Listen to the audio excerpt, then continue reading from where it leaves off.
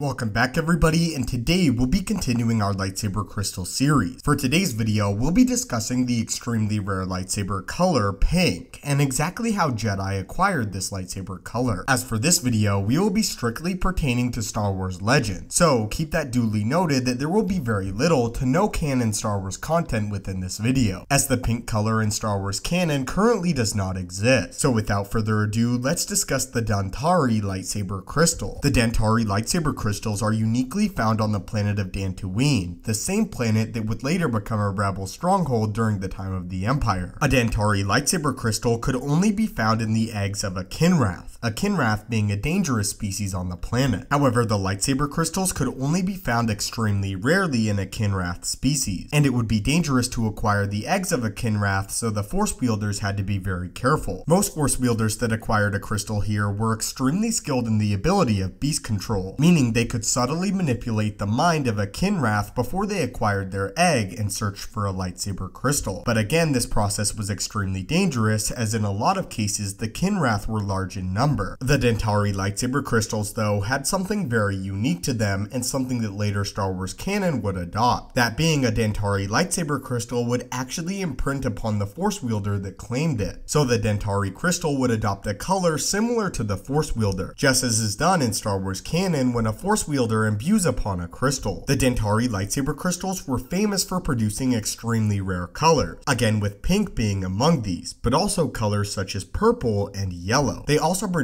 more common colors though, such as red, green, and blue. But a Dantari lightsaber crystal is one of the rare occasions where a Force wielder could actually gain a pink lightsaber crystal. A Dantari lightsaber crystal also held a few special abilities within the crystal that would aid the wielder. During the heat of a Force battle, or a lightsaber duel, a Dantari lightsaber crystal would actually collect stray force energy, recycling that force energy back into the wielder, meaning that the wielder of a Dantari lightsaber crystal could fight far longer than is normal. This also meant that the force itself was a little bit more prominent within a Dantari lightsaber crystal. If a Dantari lightsaber crystal was used to its maximum degree, the wielder of the crystal would not get tired, as all the force energy that the wielder expelled would simply be recycled back into them, thanks to the crystal and its special alignment with the wielder. Perhaps the most famous wielder of a Dantari lightsaber crystal was Jedi Master Meetra Surik. Meetra Surik who would later go on to claim a yellow lightsaber, but would later claim a blue lightsaber. Dantooine was the place where most Jedi acquired their lightsaber crystals before they discovered Ilum, and because Ilum was a less threatening planet, the Jedi ultimately decided to move there. However, for those Jedi that were adventurous and powerful, they would venture to Dantooine, especially if they wanted to acquire a rare lightsaber crystal, with pink and yellow being the most desirable that could be found there. But what are your thoughts on the Dantari lightsaber crystal and had you heard of it before this video? Also, what are your thoughts on the properties of a Dantari lightsaber crystal and its pink coloration? Thank you guys as always so much for watching. Don't forget to suggest more lightsabers and lightsaber crystals in the comments down below.